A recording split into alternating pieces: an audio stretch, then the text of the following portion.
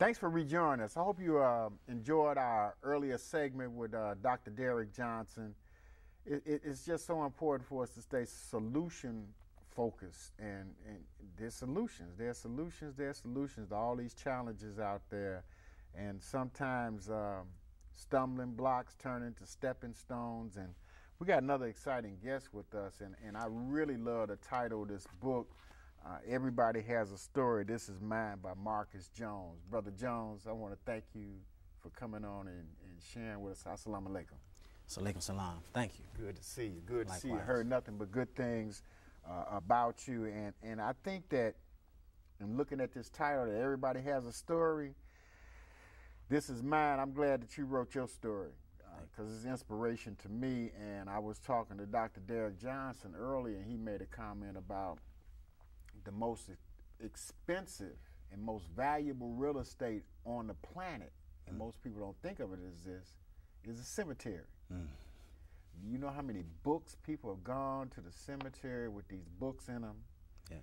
and never got a chance to share uh, their story uh, with us. So we got shortchanged by all those people. So I'm glad that you didn't shortchange us and made a decision to uh, write this book. What, what was your inspiration uh, for for writing this particular? Did you uh, have a turning point in your life where you felt as though you needed to share your story? Uh, yes. Um, one of the reasons why I wrote this book is uh, for my children. Um, I see that uh, being a dad and having children grow up, um, it, it, it changed you as a person as, and also as a, as a parent. Um, because there's so many things out here and with society and, and, and just trying to uh, mold your children, you know, uh, the way they want them to. But uh, you're supposed to mold your children the way you want to. Okay. And then do you lead by example Yes. uh, for them to give them some kind of guidelines, a model, act as a model for Yes. them to, to positive behaviors. And where did you go to high school? I went to uh, Kenwood Academy, And what year did you graduate? 89. In 89. So I, I, I noticed in the book you played football? Yes. Oh, yes. Okay. Played football my senior year. Uh, pretty good at it, you know. Um, a lot of tension on the football team. Really? Know, yes, yes. Right. A lot of tension yes. between the players or, or Um, players, the school, um, Okay. the coach, okay. uh, and um, other schools. and as staying well. in that winning mode too Yes. has a lot has a lot to do with it. So you graduated from Kenwood, grew up on the South Side. Grew up on the south side uh, uh, in a community called the Jeffrey Manor for Okay. over uh, 25 years of my life. Uh, Now that's I'm over at 95th East, east, of Jeffrey. East of Jeffrey. Okay, uh, you can get lost up in there. You can because it's a maze up in that area Okay. over there. Okay. So it, you know, one thing I I, I uh, uh, noticed when you said everybody has a story. So you say part of your inspiration was that you wanted to leave some information in writing, I guess. Yes. Rather than just telling these stories to you. How many children do you have? Uh, I have four children. Okay. Uh, three girls, one boy. And what's the ages? Um, my oldest one just made 17. Okay. Uh, next one is uh, 14. My boy is 13, and my youngest is uh, 12. Okay, so when you when you did you go to Kenwood all four years? No, uh, actually, I went to Hales Franciscan my first two years. Okay. Uh, but you know, uh, you have to pay for that, and financial problems, we couldn't afford it. So uh, I transferred to a public school, which was not too far from Hales Franciscan, Right. which is uh, Kenwood Academy. Okay. So you you a good student anyway. Well, uh, yes, yes. Cause I mean, 'cause for you to get into Hales, I, I don't know what grammar school you went to prior. Did you go to Catholic school prior to that? No, no, I went to school? uh, public school. Okay. So you you went to Kenwood, played football. So what was your goals and aspirations? Because here, talking success, we we we try to bring people to, like yourself to come on to share your story. And our definition of success is the progressive realization of a worthy ideal. If you set a goal and then set up the objectives to get to the goal, mm-hmm. it don't have nothing to do with money Right. necessarily. Matter of fact, it's better to set it up where money is not the primary focus mm-hmm. because if you if you're moving in the right direction step by step, you you will have some success. Yes. And oftentimes success, the money is the the is the byproduct of people's success. Mm-hmm. You know what I'm saying? You can't get paid before you produce the book. You got to sell a million copies. Right, right. or make 25 cent a copy. Right, So right. then, you know, you made yourself 250,000. You know, Right. that's how it go. You don't get the money first. Right. You just don't get the money first. Um, so what were some of the goals and, and things that you wanted to do? And then that later we'll see how did it, how what Marcus thought was going to happen Okay. And then look at what we call like being in the matrix, you know, the real world, and then you're in the matrix, you know, how did things turn out uh, for you? Yes. Well, uh, when I uh, entered uh, high school, uh, my first two years at uh, Hales Franciscan, um, I had uh, big goals. Um, I can, my art was my thing. Uh, I won third place in the city um, my freshman year, Okay. and um, swimming. I don't know how that would have tied in, but you know it was a curriculum, um, and also um, reading. Uh, I used to read a lot. Oh, really? Uh, yes. But uh, when I got to uh, transferred over to Kenwood and, and didn't have that uh, discipline, as you would call that one-on-one teaching, as they do in Hales Franciscan, Okay. uh, it's a little bit more loose in public schools. Okay. Uh, my goals started to uh, get away from me. So uh, from what were there, some of the distractions you had that kind of? um, well, one thing was the women. Okay. You know, because there's no women in uh, at hell. at Hales. Right. So uh, then there was, um, you know, uh, the peer pressure.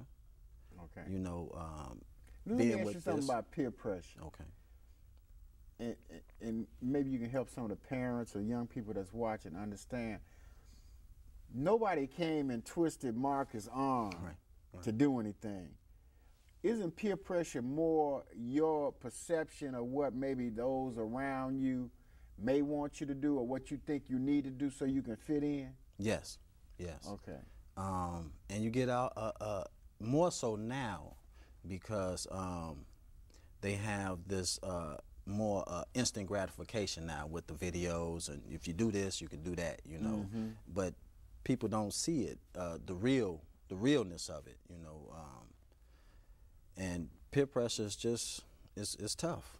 It's tough. You have to be mentally prepared you know in some way. But at that at, at that age you're not. So uh, you you uh, succumb a lot of the uh, peer pressure. Okay. So that that kind of you so you, you kind of changed your goals and Yes. were you planning on going to college? What happened after you graduated from high school? Um, my my senior year, um, I had thought of going to uh, college, uh, Jackson State, as a matter of fact. Um, but uh, something, you know, the peer pressure. Um, I got strayed away from it. You know, um, and joined the gang, and uh, started selling uh, drugs and um, staying out all hours of the night, and most importantly, um, wasn't listening to my parents. okay, so you come out of a household with a mother and a father? No, a single mom. Okay. But uh, stayed with my grandmother and grandfather, and uh, fortunately, they instilled in me good morals. Okay. But you still got away from yourself. Still got away from myself. you still got away from yourself. yes. Well, you know, that's a part of a lot of people's story. Um, they kind of get away from themselves and, you know, getting involved. I, I, you know, sometimes we look at gangs. Gangs are like families. It's almost like it kind of fills a void, or they create an illusion they're going to fill a void till something happens. Yes. Then you find out they're not there like grandma and grandpa Right. or your mom. Or your moms. So, uh, so you didn't, you, when you graduated, you didn't go to school or anything? Um, well, like I said, that was the plan, but Right. um, by me being in the gang and and and, and selling drugs, uh, the attention uh, strayed me away from the college, and so therefore uh, I started to uh, make money in the streets. So, even though you knew that, like Malcolm said, education is is, is the passport, Mm-hmm. The freedom that you were t- looking at what was in front of you. Yes. Um, now, at first, when you started selling drugs, was it because you needed the money, or was it the lifestyle, excitement that was charging you up? Well, it was uh, a little of everything, Okay. um, but mainly recognition. You know, from uh, the women, your guys, Right. uh, the gang members. You know, um, just everything around you. It just it, it, it overcomes you. It overwhelms you. You know, um, and, and certainly at that age as well. You know, uh, because How you don't. you now? About 19, 20? Nah, I wish. You know, uh, but I'm 37 years of age now. You 37 now? Yes, uh, be 38 this year. Wow. Yes, and um, you get away from it all uh, because of, like I say, uh, the instant gratification is right there. You know, so I got away from it. So when you, you wrote this book, when in the past? Um, you told me it took you about three years to put it together. yes, I started writing the book in 2004. And you just started putting, because man, you know, I like, see, if you notice, I'm not talking a lot about the book, because I really want you guys to read this because the way it's written, once you pick it up, you notice I picked the book up and I came out here and I started reading some more, you know, and it kind of flipped through it and started looking at, at, at, at, as- at it's, the way it's written. You know, it's like you're talking to me yes, and and I like that style. I don't know what they call that in literature or whatever, but uh, thank you. this is something you know, man. It, it's a great inspiration, uh, and we're gonna let you tell a little bit more about your story. I don't want to go into too much details because I really want them to check this out because it's, this is great. So, as as time went on, you got into the game and Got into the game, uh, getting recognition from the street. You know, as you do that, make more money, clout get uh, heavier, taller. You know, um, and just uh, um, trying what I thought was living the life. okay, You know, uh, but it really, you know, is not the life. As I look back on it today, Right. you know, it's it's it's nothing. Uh, so how long did that that go on?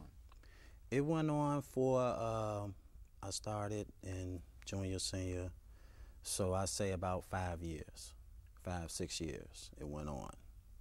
And um, ultimately, uh, dealing in the streets, and um, I got shot.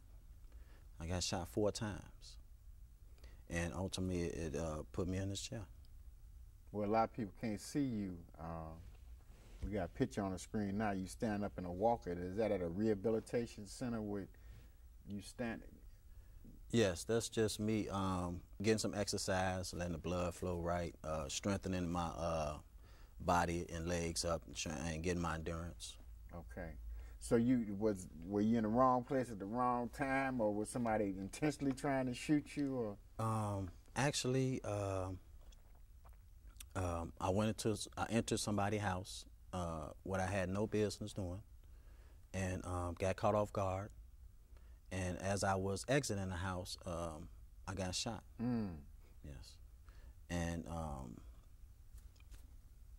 I mean it, it, it was it was it was devastating. It was so how, devastating. how old were you uh, when that happened? I was 24 years of age. when that- 24, and you're 38 now. Yes, So we're looking at 14, 14 years. years. A lot of things have changed. Yes. Um, so how long did it take you to get back um, adjusted with this not being able to walk? You you had to, you in a hospital for a while. I noticed you shared some stories about that. It's like almost be- uh, you know some writers.